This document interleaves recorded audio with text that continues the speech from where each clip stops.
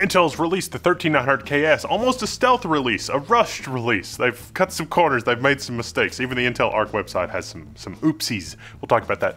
13900KS, this is a legend in the making because it's 6 gigahertz out of the box.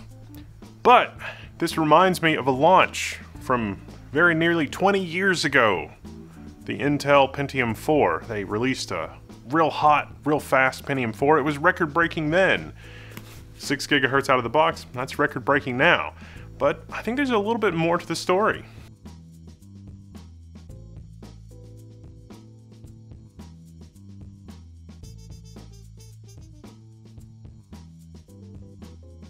So if you ordered the 13900KS the millisecond it was available, thanks Python script robots. That's this is pretty much your unboxing experience. There's really not much to it. You know, it's plastic, Core i9. This box looks the same. They they slapped a special edition sticker on it and boom, that's pretty much it. Okay, we're gonna do something fun. We're gonna do a build for the 1%. $700 right here, by the way, which is quite an upgrade in price over the i9. Maybe Intel's going to do a stealth price increase where you can only buy the KS. You can't buy the i9 anymore, and it's just $200 more. Anyway, if we're doing a 1% build, of course, it's going to feature the NVIDIA 4090 because there is literally nothing faster. There's also nothing that uses more electricity. So to support that, I'm going to go with the FSP Group Hydro PTM Pro. Now this has the extra PCIe 5 connector on it. These just came back in stock. So they can't make them fast enough. FSP Group has a uh, well-known name for itself, good reputation I should say, in the server market, server power supply market. And so this is FSP Group's engineering for the server market distilled down into desktop PC power supplies. 1200 watts. 1200 watts is overkill for just a single GPU system. This is more like something I would use in some of my higher end builds. And in fact, I do use this in the higher end build. But this, this dongle cable thing is utterly ridiculous. I don't like this.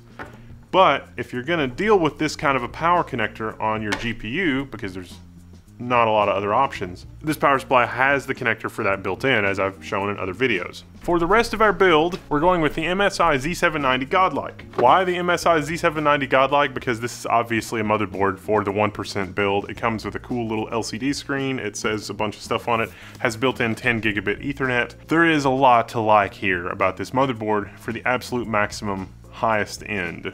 Now you could go for the 0.1% build, which would include custom loop cooling.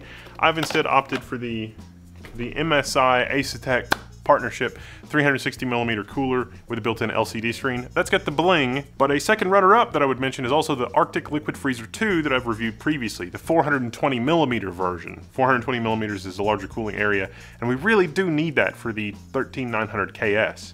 So if you look at the Intel ARK page for this processor, you can see that it does actually have some significant upgrades over the 13900. For one, the E-cores, the efficiency cores, their base clock and boost clock is higher. We've also got a little bit more wattage. It's not listed on the ARK page, but 320 watts is an option. Some motherboard vendors are building that option directly into BIOS where you can just pick the 320 watt profile, which means that you need enough cooling to be able to handle that.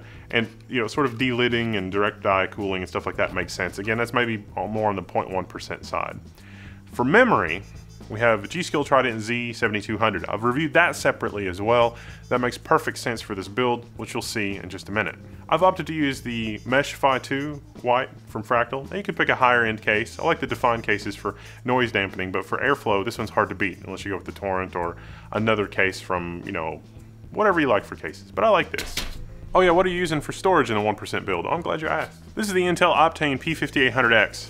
It's about $1,600 for 800 gigabytes or several thousand dollars if you enter the multi-terabyte range. But I've got two P P5800Xs here. They are unmatched. They're PCI Express 4 uh, in terms of latency and throughput. They're enterprise grade NVMe and they do need cooling. I've got two of them on an X8 PCIe add-in card, but I'm only gonna run one at PCI Express by 4 in this configuration because I want my GPU to have all 16 lanes for these benchmarks that we're doing. Now, as we look at the benchmarks with the out-of-the-box configuration, again, running our overclocked DDR5 two sticks of memory at 7200, plus our 6 gigahertz thermal velocity boost. Now, really, real world, that's more like 5.8 gigahertz, and our game boost is really more on the order of like 5.6. So that's very modest gains over the 13900K for real world gaming. And so you might expect that the benchmarks, especially around 1080p with the 4090, are not dramatically different. And yet, as we see here and here with our game benchmarks, the performance is actually quite a bit higher. It's 13900KS, secretly the star of the show? No, it's actually our G.Skill memory, our DDR5 7200. I mean, with this platform, we're talking about a maximum theoretical memory bandwidth with the overclock of just about 100 gigabytes per second. Theoretical. In real world, we're seeing north of 70 gigabytes per second with this memory kit, which is substantial. For games that are limited by this round trip between system memory, PCIe peripherals, and the CPU, sort of the triumvirate of high frame rate gaming, then yeah, this performance uplift really is breathtaking. But it's not really the 13900KS that's enabling that. It's the better memory controller, maybe, theoretically. Silicon Lottery, you know, because it's still technically an overclock. If we look at ARK here, the DDR5 performance numbers aren't really any better. It's like, okay, this is what it supports, so 7200 is definitely an overclock. It also depends on your board. You have to get the highest end board, eight or more PCB layers. There's a whole lot of dependencies that go into being able to run the thing at full memory speed. The good news is that you don't necessarily have to dump 300 watts of power into the CPU. I mean, sure, that's kind of cool if you're all-core sustained, you know, 16 efficiency cores, 8 performance cores number, and you get some pretty cool stuff in the benchmark. But for gaming, those efficiency cores generally don't really make a huge difference. The difference they make is that they run interference for all the crap going on in the background. The game can get all the performance cores and all the crap you got going on in the background with Discord and Capture and you know whatever else, those can live on efficiency cores and that will help your 1% lows, that'll help everything else, assuming that the Windows scheduler can get everything correct, which, you know, from game to game doesn't always do it. I mean, here we are, uh, I don't want to call this three generations later, but here we are three generations later, and Far Cry 6 still struggles with these efficiency cores. From run to run, there's a lot of variation, and when you actually play the game, okay, admittedly, it's not as bad as it was, but it's not as good as I would expect it to be in terms of the uplift from the K to the KS and, and everything in between. So then I got to thinking, what's the real MVP here? What if we put that 7200 memory into the 13900K? That is actually where you should spend your money first. So these 1% builds sort of give us a clue. It's like, where should you spend your money? What do you do if you, uh, you know, are looking for the biggest bang for your buck, but still at that upper echelon of system? I mean, just because you're a one percenter doesn't mean that you became a one percenter by spending all your money on the best thing that's absolutely available. And then you can actually step down to the i7 the i7 can't you buy like two of these for the price of the the i9 13900ks yeah yeah, you can. And for gaming, it doesn't matter. It doesn't, even if you're doing this 1080p stuff. Now, I'll also give you the rant, which is related to this, which is if you're buying a 4090 and a 3900KS and you're still gaming at 1080p, that's a little odd.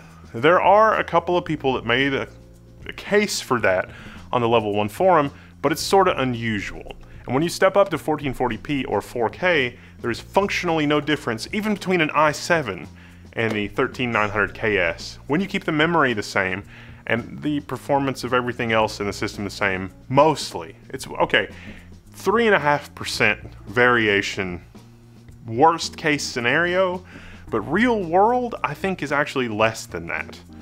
I get why Intel didn't really sample anybody for the 13900KS, meaning that they sent them to reviewers ahead of time, because even at 6 gigahertz, even with the bump in E-cores, functionally there's not a lot of difference between the 13900K and the 13900KS. But also, it sure seems like the 12700K, which is also very close in performance to the 13700K, although the 13700K is better, again, you know, in that 5% range.